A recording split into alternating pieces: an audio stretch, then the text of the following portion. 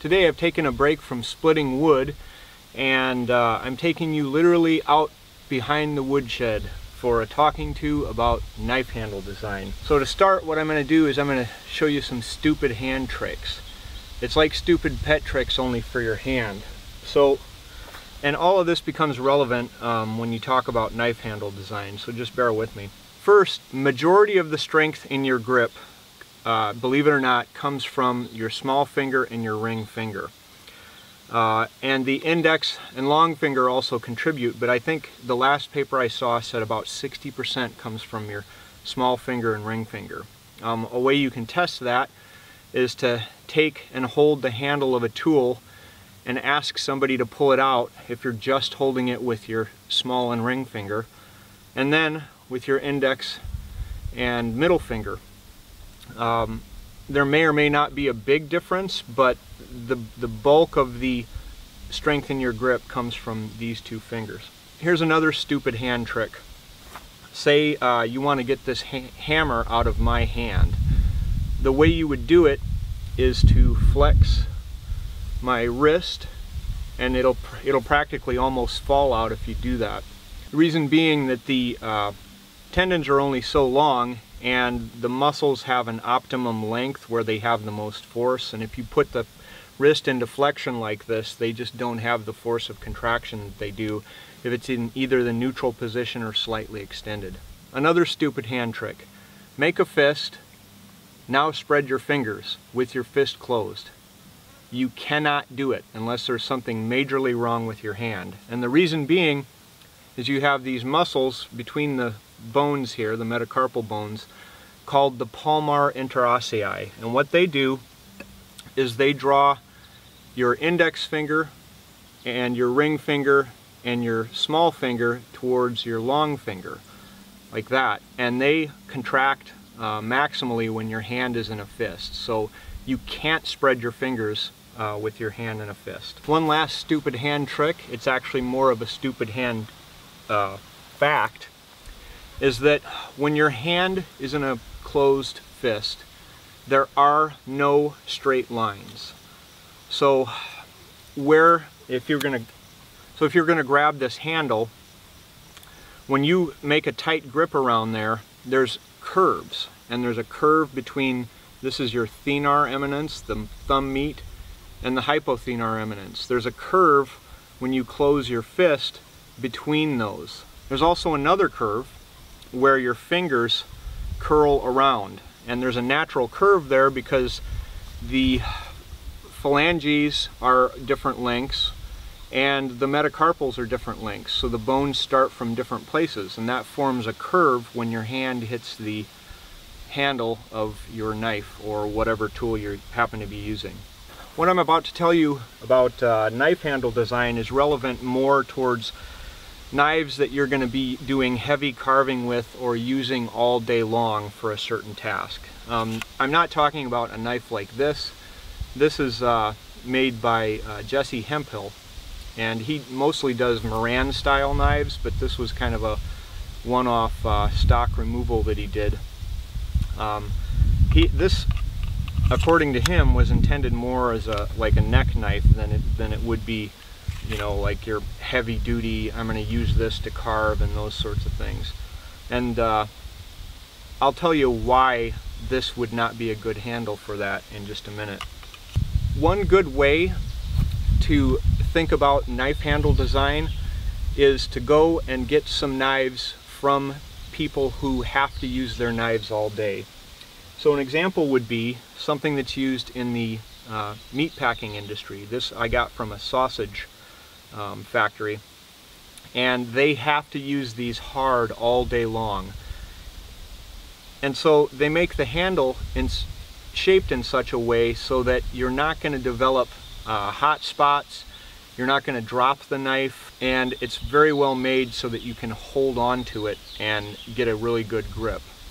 Notice there's not much texturing to this grip at all. Another historically very awesome knife for uh, wood carving and things like that are these uh, Puukko style knives. This is a, I think it's a, yeah, it's a Kellam, a Kellam knife, and the handles on these styles of knives are usually just fantastic.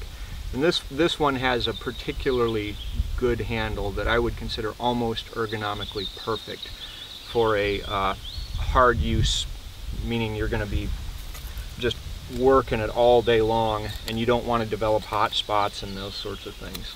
So what do I do when I'm designing a knife handle for a knife that's to be used hard, um, you know, big, heavy cutting tasks, and I want it to be usable all day long and you don't develop um, fatigue in your hand? Well, first, I make sure that all of your that the handle is long enough for all of your fingers to fit on the uh, handle. There are uh, some pretty excellent examples of three finger knives and even two and a half finger knives, but I would not use those as, uh, you know, my big all day long cutting knife. Uh, reason being, again, where does your grip strength come from? If you start dropping fingers off of there, it uh, you have less grip and less ability to hang on to stuff, and plus it's going to move more in your hand because you don't.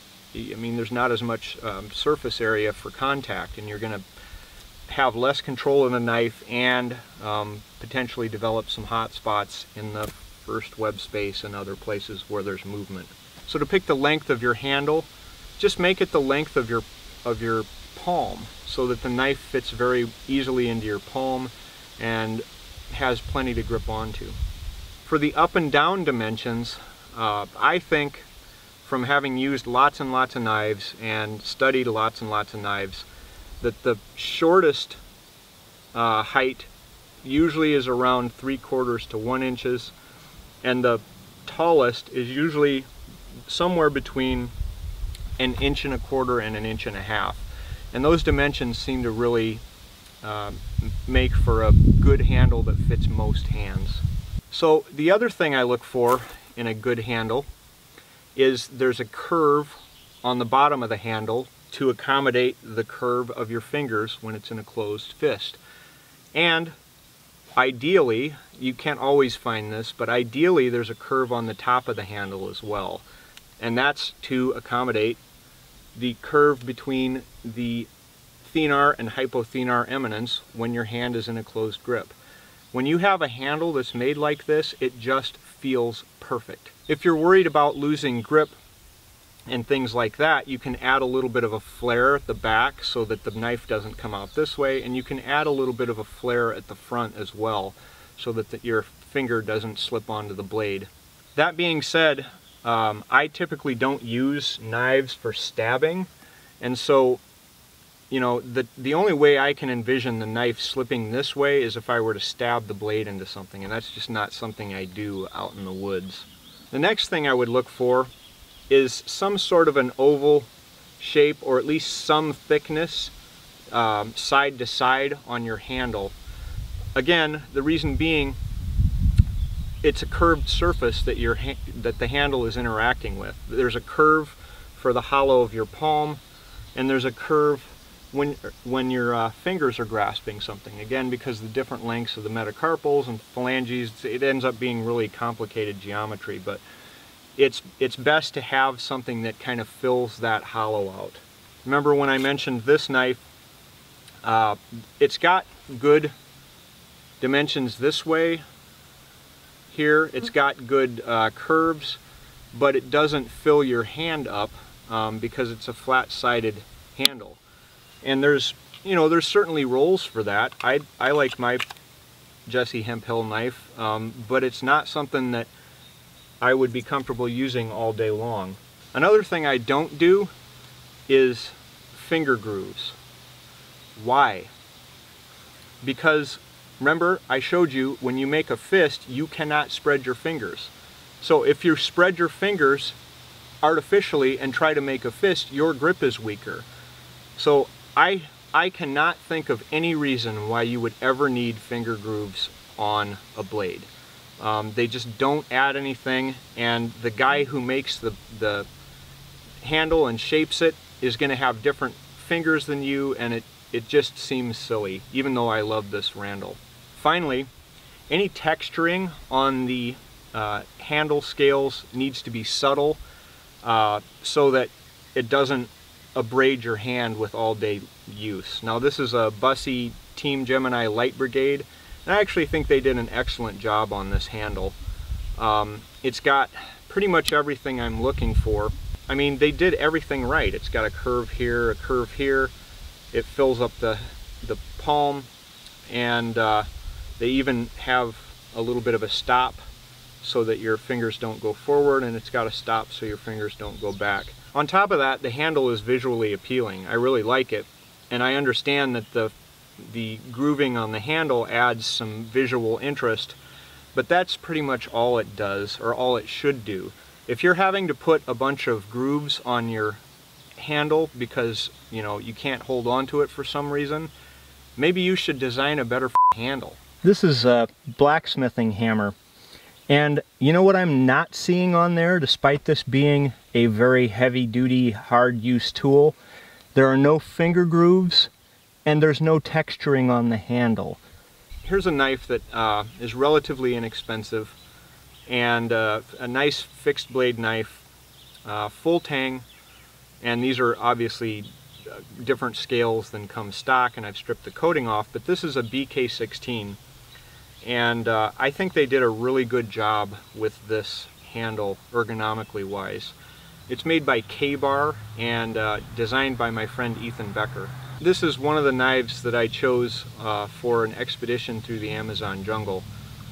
Not only is the handle comfortable, but the drop point blade shape and overall blade length are really, really handy in the woods. One last knife I want to show you this is an older knife. It's one of my kitchen knives. It's a Henkel. And ergonomically, the handle on this is about as perfect as I think you can get. So if you ever are in a store and you could get your hands on one of these or one of these uh, Kellams, you